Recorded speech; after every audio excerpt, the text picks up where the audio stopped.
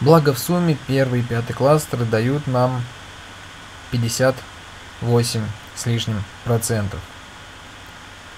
Давайте сохраним это кластерное решение. А, собственно, оно уже должно было появиться, поскольку галочка стояла. Вот оно, пяти кластерное решение.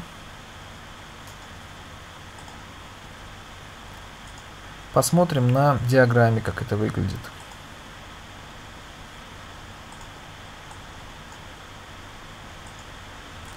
Материальное положение, жизнь, которую ведет респондент, grouping variable и пятикластерное решение. Мы сюда помещаем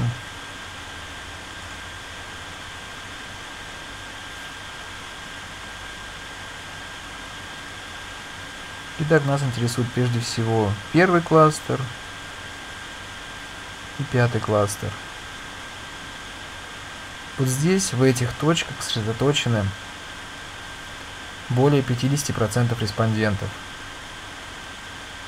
Остальные кластеры гораздо менее однородны, и по ним гораздо сложнее, ну вот желтый, например. Прям вот видно, насколько он неоднородный. Второй тоже видно, насколько неоднородный. Ну, третье еще куда не шло.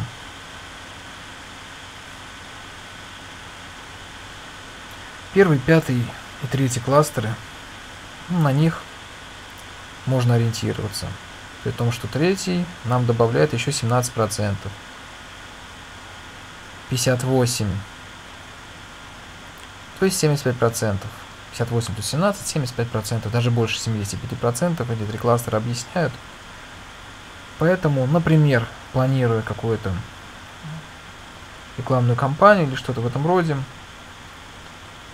и какое-то иное социальное действие, мы будем ориентироваться на этих людей, таких середнячков, которых почести устраивает и жизнь, и материальное положение, на этих, которых материальное положение устраивает, а вот жизнь, которая по большей части не устраивает. И вот на этих, которых по большей части не устраивает материальное положение, но они очень разнообразную точку зрения имеют по поводу жизни, которую они ведут. Итак, мы рассмотрели двухступенчатую кластеризацию, которая позволяет кластеризовать категориальные шкалы, в том числе номинальные. Делает она это в два шага. Первый шаг состоит в создании агрегированных данных, при том, что исходно